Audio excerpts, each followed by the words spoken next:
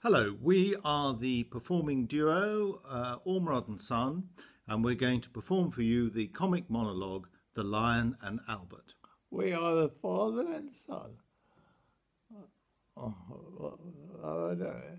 You've done that bit, yeah? Okay, let's start. The Lion and Albert. The Lion and Albert. There's a There's a famous seaside place called Blackpool. that's noted for fresh air and fun. Well, it's And Mr. and Mrs. a Mr. and Mrs. Albotto. went there with young Albert. When there with young Albert, Their there was, son. uh, he and a little lad with young Albert. All dressed. Well, All dressed. all dressed in his swell, kind of swell. With a stick, with an horse's head Aye, handle. That was the best that was could sell. Well, they didn't think much to the ocean. The trouble was, the waves, the waves, they were smiggling and small. There were no wrecks. Nobody drowned it. In fact, Nobody to laugh at at all. so seeking for further And they amusement, paid and went into the zoo. where there were lions and tigers and Oh, camels, there were old ale and sandwiches too. there was this great big lion called Well, called Wallace. whose nose Oh, nose was all covered in scars. What? There was no wrecks and nobody drowned. No, we've done that. He lay in a somnolent posture. with with his part face uh, Face. pressed up to bars. dressed up to bell quite as well. Now, Albert had heard about Well, lad had heard that the, lions, the lions, how they were ferocious and wild.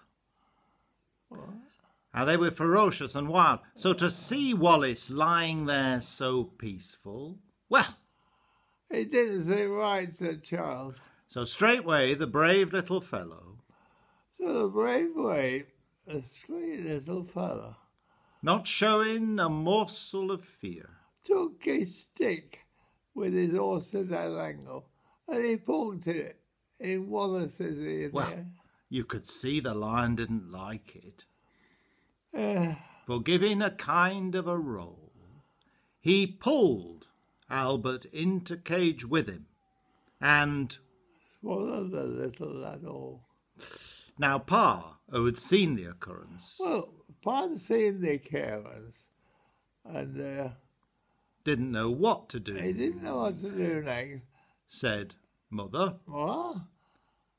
Young lions, it's all but, And Mother said, well, "Ee, I am vexed. vexed. The keeper was quite nice about it. He came saying, What's the to do? And Pa said, Yon lion's at our Albert, and him in his Sunday best too. That's not right. Anyway. Uh, the keeper was quite nice about it. He came, he said, Oh, what a nasty mishap. Are you sure it's your boy he's eaten? And Pa said, Am I sure? See there, here's his cap. Ah. The manager had to be sent for. He came saying, What's the He to pulled- do? He pulled out his purse No, right not yet. He said, What's to do? And Ma said, Yon lion's at our Albert and him in his Sunday best too. The manager wanted no trouble.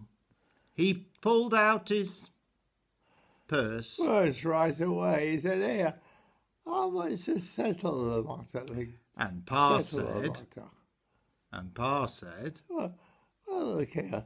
How much do you usually pay? but Mother had got proper awkward when she thought what the lion had done.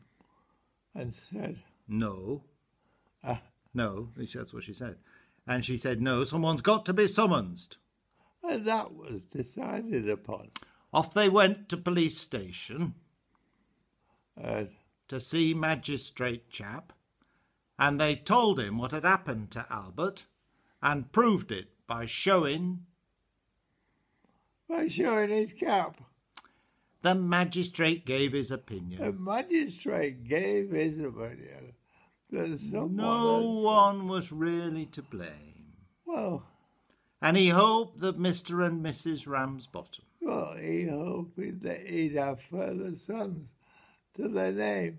At that, mother got proper blazing and said, Thank you, kind. Thank you, sir, kindly, said she.